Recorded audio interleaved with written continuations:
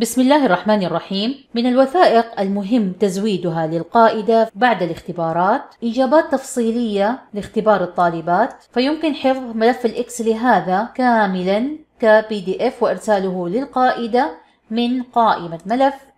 ثم طباعة. نستطيع جعل الاتجاه أفقي. نختار نوع الطابعة. بي دي اف طباعة.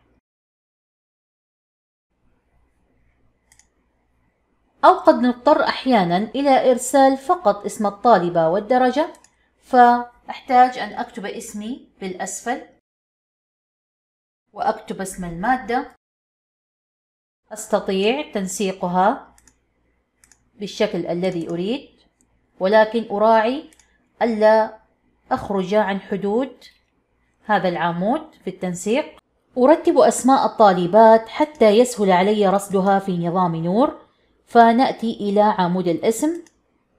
الفرز من الألف إلى الياء. ففي المرحلة المتوسطة نقوم بترتيب الأسماء من الألف إلى الياء أبجديا. أما في المرحلة الثانوية نقوم بترتيبها حسب الرقم الأكاديمي. والآن أحدد الأعمدة التي أريد ظهورها في ملف ال PDF من قائمة ملف نختار طباعة. طباعة التحديد يمكن جعل اتجاه الورقة عمودي ثم طباعة. أستطيع الآن إرسال ملف البي دي إف هذا إلى القائدة. أتمنى من الله تعالى أن أكون قد وفقت في هذا الشرح والسلام عليكم ورحمة الله وبركاته.